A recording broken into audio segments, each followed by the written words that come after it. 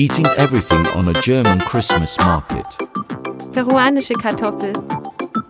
Reibekuchen mit Knoblauchsoße. Langus. Champignon.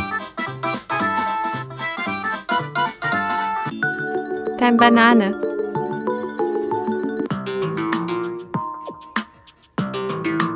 Dampfnudel.